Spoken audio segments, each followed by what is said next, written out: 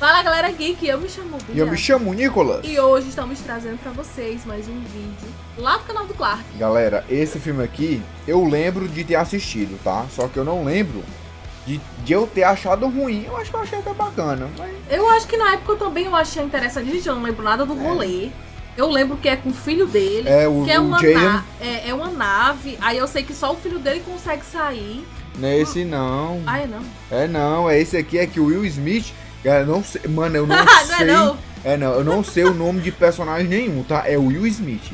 É que ele é o único que consegue matar uns bichos, porque ele é o único que vê, porque ele não tem medo. E aí o filho dele vai na mesma vibe, só que ele tem que aprender. Pois então, eu nunca assisti. Eu pensava que era outro filme, mano. Tá, então, ó. Lembra de Depois da Terra? Lembro, só Não. que. Não. Eu lembro, só que, cara, eu não lembro de ter ach- achado o filme ruim. Eu sei que é meio, é meio bichado, mas de todo ruim eu acho que não é, não. Então, ó, é o pior filme do Will Smith. Mas porque o, fi- o filme não é do Will Smith, né? O É- f- Era é pra do- ingressar. Era o pra ingressar o Jaden. que- Exatamente. É, aí. Mas, bora ver como é que vai ser a visão do Clark. Só bora. Aproveita e se inscreve aqui no canal se você não é inscrito. Deixa Deixa, o o like. like, que ajuda muito. Nos acompanha na Twitch, que tem Live. todo dia. E E- hype esse vídeo, galera. Exatamente. Então, partiu pro react. Então, galera, bora lá começar. O link do vídeo original tá Bora na nós, velho. Bora lá. Em 2013, depois de já terem se juntado e dado muito certo em A Procura da Felicidade, Will Esse filme Smith decidiu chamar o seu filho para Tá estrelar em um filme de ficção científica. Eu Filme disse que eles caem numa nave. a humanidade tendo que deixar a Terra após ela ficar inabitável e indo morar em um novo planeta. O problema é que nesse novo planeta eles precisam lidar Ó, com criaturas os mortais bichos. que são cegas, mas que podem farejar o cheiro do medo. Ah, É as criaturas que são cegas. é o. eu misturei foi tudo. Pois é, tá vendo que eles caíram numa nave? não, Eu assisti. mas é por- eles moram em nave, eles não caíram em nave, não. Eles foram pra naves, ó. Uh. É que Will Smith é um soldado que não sente medo, então ele tem muita influência no lugar. E mil anos depois da Terra, pai e filho embarcam numa missão onde acabam caindo na mesmíssima Terra que, claro, se tornou um ambiente completamente hostil. Assim seria a Terra se eu tivesse poderes, eu ia acabar era com tudo. Bom, como seu pai ficou muito Ah. ferido após a queda, o filho precisa partir sozinho em uma jornada perigosa para conseguir chamar ajuda. Então é por isso que hoje nesse canal, Depois da Terra, um filme que, de acordo com o próprio Will Smith, é um grande fracasso. Esse é considerado um dos piores filmes da carreira dele. Olha. Observação, quem disse isso foi ele, não eu. E antes de ir para o resumo, já te adianto que que a primeira curiosidade foda. Como eu Manda. disse no início, essa não é a primeira vez que Will Smith e seu filho trabalharam juntos em um filme. A primeira vez que eles se juntaram foi no filme A Procura da Felicidade. Filme que eu particularmente Esse- adoro e tenho filme certeza é que se fosse só por ele, o J.J. Smith seria considerado um bom ator até hoje. Pena É que verdade. Crianças crescem e outros trabalhos contam. Enfim, fim da curiosidade foda. Sigo. Mas antes... Durante todos esses anos, muita gente já me parou pra perguntar: Clark, por onde vocês vê os filmes que traz no canal, hein? E muitos desses filmes são vistos por mim no YoCine, o querido patrocinador É desse vídeo, onde você pode ver além de filmes, animes, séries, jogos de futebol e várias e várias outras coisas que você não encontra em nenhum outro lugar, tem aqui. É sério. Um dia desses eu fiz um vídeo de divertidamente e adivinha só aonde tinha o filme? No YoCine. Então baixe e Que isso, Link na mano? descrição e no fixado. Seguimos. O filme se inicia com Katai, filho do Will Smith. Curiosidade foda. Will Smith repete muito a palavra Katai durante todo o filme. Kitai. Kitai, Kitai, Kitai. Kitai, Kitai, Kitai. Kitai. Fim da inútil curiosidade foda. Somos todos Katai. Bom, Katai tá narrando algumas coisas sobre a história do filme, porque é assim que todo bom filme tem que começar, narrando histórias sobre o próprio filme. Isso aqui é cinema. E ela explica que há mil anos atrás, todos os humanos tiveram que sair da Terra por conta de muitas merdas que aconteceram nela. Desastres ambientais, guerras, blá blá blá. A Terra acabou ficando inabitável e a humanidade precisava de um novo planeta para morar. Então, eventualmente, os humanos encontraram um novo planeta chamado Nova Prime, que logo foi colonizado por eles. A coisa é que nesse novo planeta, os humanos precisam lutar contra uma ameaça, os Ursa, predadores alienígenas criados especificamente para caçar humanos. Esses bichos são cegos, mas conseguem sentir o cheiro do medo dos humanos. Com esse novo problema que pode causar a extinção dos humanos, foi criada a Força Ranger, uma unidade militar de elite composta pelos soldados mais bem treinados, mais picudos, mais cabulosos, mais sinistros e corajosos de Nova Prime. E dentre esses malucos no pedaço, o lendário general da Força Ranger, Cypher Rage, nosso querido Will Smith. Para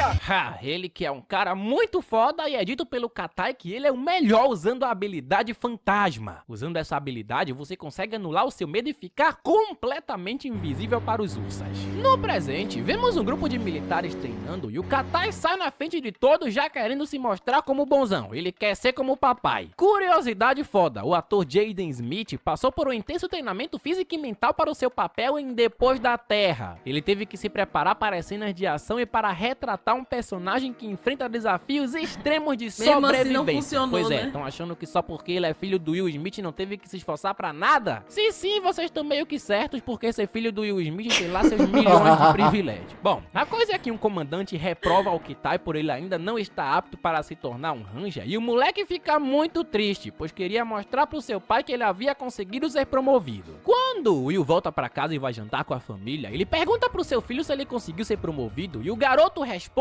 que não. Posso ir pro meu quarto, senhor? Negado, senta aí. É isso aí, bota moral no moleque, Will. Depois, em uma conversa com sua esposa, Faya Raj, a mulher diz pro Cypher tentar ser mais pai do Katai e diz o quanto ele se esforça para agradá-lo. E mais depois, ele vai até o Katai e diz pra ele arrumar as suas coisas, pois vai partir junto com ele em uma missão. Quer se provar? Se prove agora. Let's go pra missão, filhão. No dia seguinte, eles estão se preparando para a missão e logo partem pra ela. Durante o Ah. caminho, todo mundo está dormindo e dormindo sentados mesmo. Pô, nem pra ter uma cama pra cada um aí. O cara é general do planeta que eu esqueci o nome e não tem nenhuma cama. O Katai não tá conseguindo dormir e sai andando pela nave. Ele entra em uma área proibida e é surpreendido por esse cara que dá um esporro nele por ele estar se metendo aí. Ser filho do patrão é só alegria. O Katai fica muito curioso pra saber o que tem dentro dessa espécie de jaula e o cara meio que encoraja ele Caraca. pra que ele Mano, eu não lembro de nada disso. Nem eu. Eu não lembro de nada eu só disso. lembro dele saindo da nave. E eu assisti, Acabou. cara, lembro de nada. cima da jaula enquanto fica explicando como funciona o medo no corpo. O moleque se aproxima demais e toma um susto com a ursa que tá presa ali. O Cypher então acorda, sente que algo está errado, ordena que todos os militares se preparem e vai até os pilotos da nave para avisar sobre uma possível tempestade de asteroides perto deles. Os pilotos dizem que a tempestade foi para bem longe deles, mas de repente quando tudo parecia bem, tudo fica mal porque uma tempestade surge na frente deles e faz a nave fritar. Um meio- Pra fugir dessa Macho, tempestade, Tava bem limpinho, né? E o legal, assim, ele sentiu do nada, né? Os pilotos estão olhando pro espaço e não olha nada, mas ele sente o negócio que vai acontecer. Mas eu sei porque que ele sente. Por quê? Porque ele é o Will Smith. Tadinho, o Cypher Prota ordena do que a nave filme. deles entre em um buraco de minhoca Ó. e eles conseguem fugir. Como a nave ficou toda ferrada, os caras buscam logo um planeta para poderem pousar. Então eles encontram o planeta, mas o sistema dele diz que aquele é um planeta considerado impróprio. Porém, como não tem outras opções, eles decidem que vão ficar aí mesmo. Ele Na vai até o Terra, seu filho será? para dar uma acalmada nele, mas é puxado com força após a nave levar uma porrada. O que tá então acaba apagando durante a queda e assim, quando acorda, sai andando por todo aquele estrago, vê que todos os tripulantes estão mortos e acaba encontrando seu pai. Ha, adeus tripulantes. Sabíamos que vocês iam morrer uma hora ou outra. Deu a hora dos figurantes irem embora pra casa. Mas não todo o mundo Cypher tá junto, bem né? ferido e diz pro seu filho pegar um sinalizador de emergência e outras coisas que eles vão precisar pro desenrolar da trama. Após encontrar, ele leva pro seu pai e diz que o aparelho está danificado, mas que existe outro na nave. Só que ele diz pro moleque que esse outro está na cauda da nave que fica longe pra caramba de onde eles estão. Como o Cypher tá todo na merda, quem fica com a missão de pegar esse sinalizador é o seu filho. O moleque tá com a responsa na mão. E se falhar, os dois vão morrer. O Cypher entrega pro Katai alguns fluidos de respiração, diz que a mochila dele tem equipamentos que irão permitir com que eles se comuniquem o tempo todo e entrega sua lança muito fora pro moleque. Tudo evoluiu pra matar humanos. Mas se não vivem humanos nesse lugar, como é que caralhos as coisas evoluíram pra esse propósito? Qual o sentido? Ah, e também ele revela que esse planeta é nada mais, nada menos, nada mais que Que a Terra. Informação muito útil pra quem não lê o título do filme. Katai pergunta pela ursa que tava na jaula e Cypher diz que vai ajudá-la a se proteger dela caso ela ainda esteja viva. Obviamente que está, porque o filme é bem previsível. Depois de se despedir do seu pai, Katai sai da nave para começar a sua dura jornada e conseguir completar a sua missão. Vamos lá, Katai, confiamos em você. Na verdade, eu não confio muito porque o Will diz que qualquer coisa que acontecer com você aqui, você morre, mas com o Katai acontece um monte de coisas e não dá em nada. O cara é blindado pelo pai que manda no filme. Aliás, aliás, sem querer ser chato, mas já sendo porque o canal é meu, partindo pro lado analítico da coisa, aqui esse filme muitas vezes se prolonga demais. Às vezes ele mostra Ah, isso eu Katai concordo. andando pra lá Isso eu pra lembro. nada, pra cá pra nada, na água pra nada, enfim. Deve ser isso mesmo que o público quer ver, ver o Katai correndo por aí pra nada. Enfim, o Cypher envia vários tipos de drone pra localizarem a Ursa e depois começa a explicar pro Katai que as temperaturas na Terra mudam de uma forma bem complicada e que durante a noite faz um frio congelante. Ele diz pro Katai que existem alguns pontos quentes espalhados por aí que ele deve chegar a algum deles pra se manter aquecido, só que ele deve fazer isso antes de cada anoitecer. Após isso, o Cypher analisa os seus graves ferimentos e injeta esse negócio aí nele. E depois disso, meu amigo, Will Smith não trabalha mais. Ele passa o filme todo deitado aí como se tivesse bêbado. O dinheiro mais fácil já ganho na carreira do Will. Pra não dizer que não fez nada, Will Smith começa a lembrar da sua filha, Senshi Raiji, que se pra você tem cara conhecida é porque ela é interpretada pela atriz Zoe Kravitz, ela que interpretou a Mulher Gato em The Batman, que se não viste te deixa o resumo aí em cima. O Katai continua o seu caminho andando pela terra e avisa pro seu pai gente assistiu A Vingança em live. é que o uniforme dele ficou preto. Então Cypher explica pra ele que o uniforme possui um tecido inteligente e também diz que está detectando alguma criatura se aproximando do Katai e está ficando cada vez mais perto. A boa notícia é que é apenas um macaco, mas a Mike Katai ataca o macaco mesmo Will Smith falando pra ele não fazer. Então mais macacos aparecem, cercam o moleque, ele corre bastante e consegue fugir com a ajuda do pai. Diz pra ele ir para um rio e cara, tá doido. O que o Jaden Smith correu pra fazer esse filme, você sedentário não correu na vida toda. Depois disso, meio que fica muito assustado e não dá ouvidos ao seu pai que está lhe chamando. O Katai acaba sendo envenenado Uh, por um bicho, começa a passar muito mal e o Cypher diz pra ele injetar dois antídotos nele. Com muita dificuldade, o moleque consegue, só que precisa ficar ali um tempo esperando o negócio fazer efeito. Assim que acorda, Cypher diz pro seu filho que a temperatura tá caindo rápido demais e que tem menos de uma hora pra ele chegar no ponto quente, só sendo filho do Will Smith mesmo para depois de quase morrer envenenado conseguir correr tantos quilômetros em pouco tempo sem beber água ou comer nada. E quando seu filho tá correndo pro lugar seguro, isso aí, Katai, corre. O Cypher continua ferrado fisicamente e tendo lembranças com a filha. Voltando ao Katai, o moleque consegue chegar no ponto seguro e o Cypher diz pra ele usar um de seus inaladores. Só que quando ele vai pegar, vê que dois frascos foram quebrados e que só restam dois agora. O Katai ainda mente pro pai dizendo que ele ainda tem os quatro frascos do negócio. Durante a noite que está chovendo, o Katai começa a conversar com seu pai, ele pergunta como Eu acho que é pra. pra tipo assim, a, a- o ar não deve ser muito legal pra respirar. Eu acho que isso daí já é pra ajudar. O pai fez para se tornar um fantasma, o Cypher conta que ele uma vez resolveu correr sozinho, acabou sendo atacado por uma ursa, caiu com o bicho no rio e conseguiu anular todo o seu medo, se tornando invisível para a criatura. Com isso, ele percebeu que o medo era algo apenas da cabeça das pessoas e que sentir medo era uma escolha. Assim que amanhece, o Katai continua sua jornada e vemos que todos aqueles macacos que perseguiram ele foram mortos. Será que a criatura responsável É o foi a bicho ursa lá, ó. que estava na nave e está solta por aí? Ha, não adianta fazer mistério porque o filme é previsível, mas veremos. Cypher diz pro Katai ir pras cataratas e chegando lá ele diz pro moleque falar como estão os seus equipamentos e suprimentos. Não ele nada novamente mente pro pai dizendo que ainda possui quatro frascos de inaladores, mas o Cypher manda ele mostrar e vê que ele está mentindo. E após isso, o Cypher manda o Katai abortar a missão e voltar pra nave. Só que Katai se recusa, diz que consegue completar a missão mesmo assim, e atuando, ele nos demonstra que realmente deveria ter parado de atuar em A Procura da Felicidade.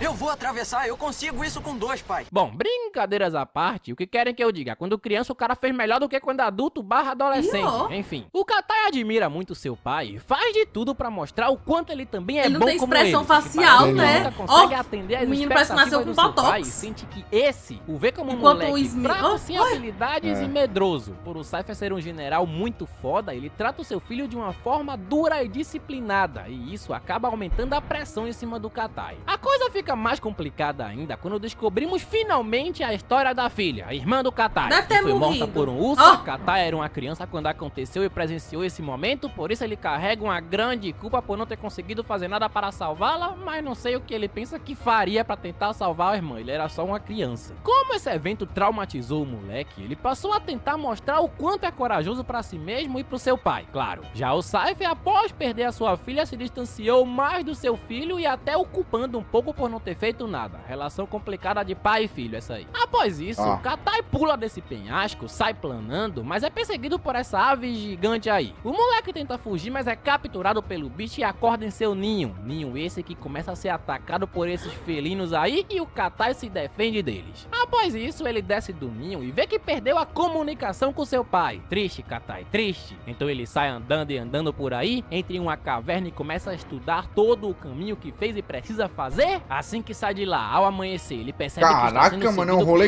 gigante. Eu não lembrava que era um rolê do tamanho do mundo. Caraca, é um rolê grande, né? Grande. Ingere mais um de seus inaladores. Katai depois constrói essa espécie de barco para atravessar o rio, e em um sonho vemos ele conversando com sua irmã, que logo manda o moleque acordar pois a temperatura tá caindo e ele vai congelar. Bom, Ah. ele realmente congela, cai, mas é salvo pela águia gigante. E depois de andar mais, mais, mais, mais e mais, Katai finalmente consegue chegar na cauda da nave e logo já pega mais inaladores para usar. O que ele também vê é que a jaula onde a Ursa estava, bum, tá quebrada. Então ele tenta falar com o pai, mas os dois não conseguem se comunicar e também o sinalizador que ele tenta usar não funciona. Sem conseguir falar com o Will, esse que está observando por uma câmera, boa Will, teu trabalho nesse filme foi foda, só de boinha. Katai precisa pensar o que fazer sozinho e entende que vai precisar disparar o sinalizador bem lá em cima daquele vulcão. Durante o caminho, ele encontra um corpo deixado pela Ursa para fazer com que ele fique com medo e ela consiga farejá-lo assim. Criatura muito esperta essa, tá se fingindo de Ursa pra não pagar imposto. Katai começa a subir rapidamente pro topo do vulcão Tá. e em paralelo a isso, vemos junto com o Cypher que a Ursa tá chegando pra pegar o moleque. E isso não demora nada, pois ela logo aparece e ataca o Katai. O moleque começa a fugir e se livra da bicha por alguns segundos, então aproveita pra tentar usar o sinalizador, mas logo a bicha aparece pra atacá-lo de novo. Ele leva uma porrada e fica no chão, mas começa a se lembrar do dia em que viu sua irmã morrer, também de algumas palavras que seu pai lhe disse, e assim como um deus ex-máquina altamente clichê, a criatura simplesmente não consegue pegar o Katai porque Katai virou um homem sem medo. Parabéns, Katai. Há alguns segundos atrás estava todo se tremendo de medo e agora parou de sentir medo, o que uma lembrança ou É. os discursos motivacionais não fazem, correto? Boa, Katai. E agora, finalmente assim, Katai inicia contra a Ursa a super batalha final.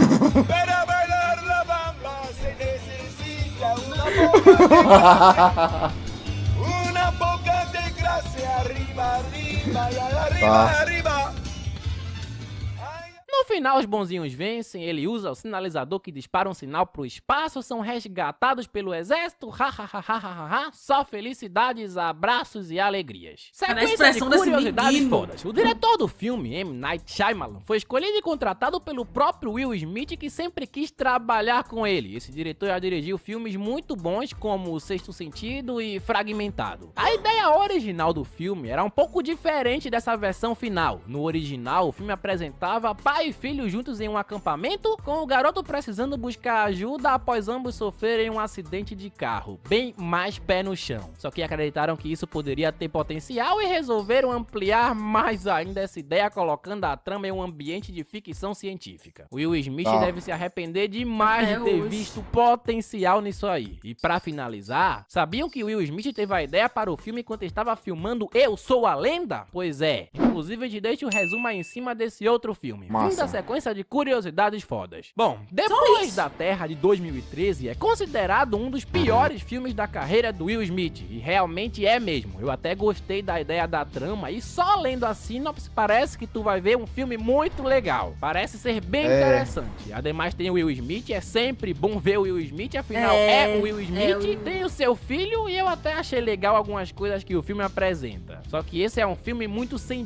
brilho e bem chato. É longo sem precisar ser, É. chato, clichê, um filme que não tem quase nada de original para mostrar, não faz questão de se aprofundar em algumas questões que apresenta e não tá nem aí pra isso. Enfim, acho que deu pra entender que eu achei mostrar o um- filme muito fraco. É. Ele é esquecível e pela trama e pelos atores não deveria ser esquecível. Na crítica, ele recebeu avaliações muito ruins. O roteiro foi criticado, as atuações foram criticadas, os efeitos foram criticados e é, os críticos não gostaram nada, desceram a madeira com força no filme. Essas notas chegam a dar dó, porque o filme é sem brilho, sim, mas também não é o demônio de filme em pessoa. Nas bilheterias a coisa não melhora em nada, já que o filme foi um fracasso, ele não conseguiu Gasto- recuperar é, nem os seus custos. É. E isso é bem decepcionante, já que esse é um filme estrelado pelo Will Smith. Enfim, comigo, ah, já me segue no Insta, já comprou o videogame? É isso, é isso. Se não, cuida e acelera. Agora sim, comigo ele tem um 4. Até a próxima. Acho que normal.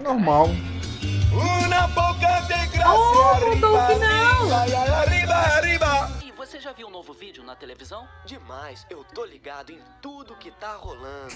Falou. Falou. Cara, Eu acho que é um 4. é, Acho que um 4 é, um 4 é ok. porque assim, velho, sem, sem mentira, tá? Se eu for pegar quase todos os filmes que estão saindo hoje em dia, é Esse- longe de ser esse né? 4 aqui vira um 6 tranquilo, 6, 7. É. Porque hoje em dia, mano, eu acho que a galera desistiu. Mano, eu acho que a galera desistiu. A galera desistiu, mano. Desistimos. Não precisa fazer filme mais bom, não. Bota aí qualquer coisa e dá certo. É, hoje em dia tá difícil. Cara, hoje em dia. Hoje em dia o que mais faz sucesso é reboot, né? Isso. Os Reno- renovação de franquia, É. pega uma franquia que deu certo em 1990 Aí refaz. e pega os atores, as atrizes tudo velho É. e tenta continuar. Porque hoje em dia, hoje em dia tá Diga complicado. um- uma franquia nova que tenha surgido nos últimos tempos que tem dado certo. É, não. Tem. Agora, gente- é, é, o que a gente não. sempre vê é o, é o É. Fred, sexta-feira Isso. 13. Aí já, já fizeram Pânico, o Exterminador É. do Futuro. Agora, macho, pelo amor de Deus, hoje em dia é complicadíssimo, É. velho. Então, já deixa aí se você gostou desse filme. Eu, assim, Eu acho que na época eu nem gostei. faz nem cheira. Eu Na assisti quando era criança. Pois é, na época- na época eu assisti, só que. Tá, eu fui assim, tá, ó, tranquilo. tranquilo. Ok. Hoje em dia, eu acho que eu considero esse filme muito bom relacionado ao que a gente tem hoje. Nossa senhora. Então, galera, já deixa aí outro vídeo do Clash ou de outro canal pra gente trazer aqui pra reagir. Beleza, então, galera? É isso, ficou por agora e Até a próxima.